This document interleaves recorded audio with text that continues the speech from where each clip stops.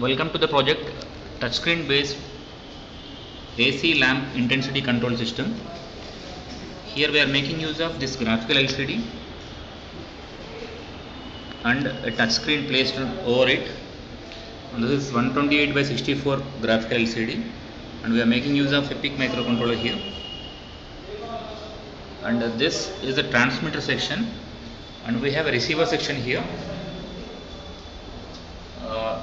This receiver section is also connected with a RF receiver and a lamp to be controlled. The user can control the intensity of the lamp by using this touch screen. We have given options like intensity, the up means intensity increases and the down means intensity decreases and off means the lamp will get turned off. Now let me demonstrate how it works. So this is a transmitter and the receiver is placed over here. Now the receiver is connected to the light which is glowing with a predefined intensity. Suppose if I press on up button, if I press on up button, then the intensity should increase.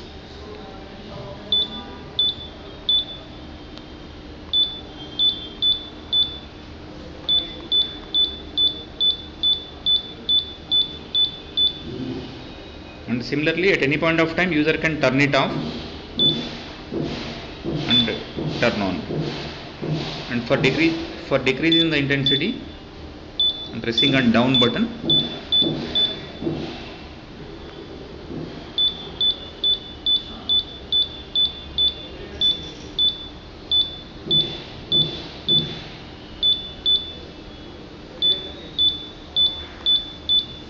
I'm increasing the intensity now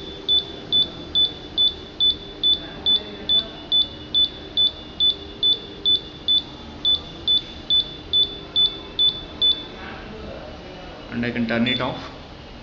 Turn it on.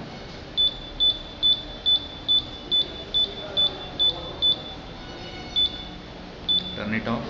Turn it on. Or decrease the intensity. The communication between the transmitter section and the receiver section is done over RF 433 megahertz wireless communication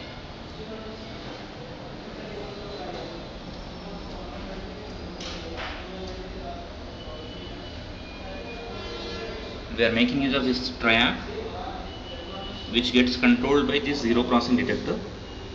And the triac and the microcontroller is isolated by this optically isolated diac and this is the RF receiver.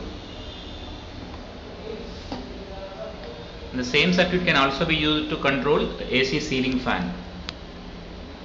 Thank you for watching the demo